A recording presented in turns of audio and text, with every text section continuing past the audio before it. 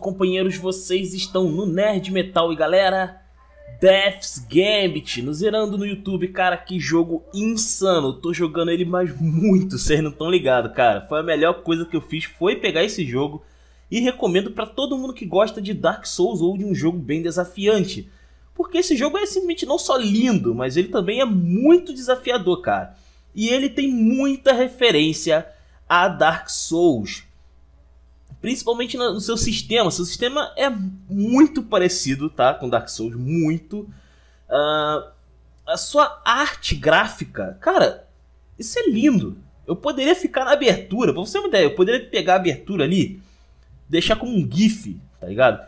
Infinito aqui na, na tela do meu computador, porque é lindo demais. É lindo, lindo. É impressionante. O trabalho artístico desse jogo é impressionante. O som também é uma coisa que lembra muito é, de certa forma, o Dark Souls. Porque assim, até tem musiquinhas e tal no jogo, mas é, os efeitos de você andar e de você. É, os ataques dos inimigos, né, o som que faz os ataques no, no jogo também. Cara, é uma coisa assim que é impressionante, tá ligado? Você realmente sente atenção em cada, cada som que aparece no jogo. Ele passa aquele sentimento de que o perigo tá sempre à espreita, sabe? E tem que ser, né? Porque afinal, isso aqui é, é muito bom, cara. O desafio desse jogo é um, é um, dos aspectos mais legais dele. Como eu falei, ele é muito baseado em Dark Souls. É, não sei se nos outros tem, mas eu joguei particularmente o 2 com, com maior frequência. E no início tem os túmulos ali que a gente usa de, de tutorial, umas lápides, né? E também tem aqui nesse jogo essas lápides também, né?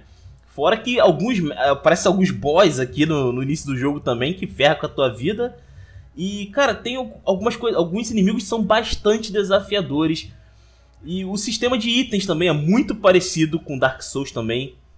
É um trabalho que, cara, eu não sei explicar, mas esse cara, assim, esse cara jogou Dark Souls e pensou, cara, é, por que que eu não vou trazer. Por que, que eu não faço um jogo onde é, que é acessível para todo mundo, porque ele é bem leve, né? Um jogo indie extremamente leve.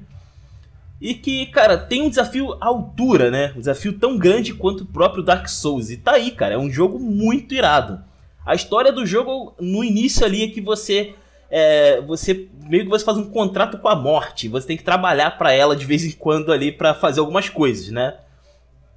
E parece que todos os seus soldados morreram no jogo. Você encontra eles ali, um ou outro, no decorrer da, da história, alguns corpos. E você tem que trabalhar pra, com a morte, talvez, para algum tipo de redenção, talvez? Não sei. É, eu ainda não completei o jogo, tá? Mas é, vocês estão vendo aí o início né, da minha gameplay, um pouquinho aí do que eu, tá, do que eu tô jogando. E, cara, é, assim, é, é, bizarro, tem muita referência. A referência. Acho que a referência ao Dark Souls é um dos pontos altos também do, do jogo. Porque, cara, olha bem isso aí, cara. É muito parecido, muito parecido mesmo. É, o estilo dos inimigos, o design deles, né? Alguns inimigos têm movimentos parecidos com o que você vê no Dark Souls. É, tem um grandão aí, se eu não me engano, que tá, deve estar tá passando em algum momento aí do vídeo que ele dá uma passada de espada muito parecida com outro grandalhão que tem no Dark Souls também, no 2. E é, é muito nítido, tá ligado? Eu acho que assim, é um. Cara, é um dos jogos mais. Com referência mais legal que eu já joguei, cara, sério. E a dificuldade dele é absurda.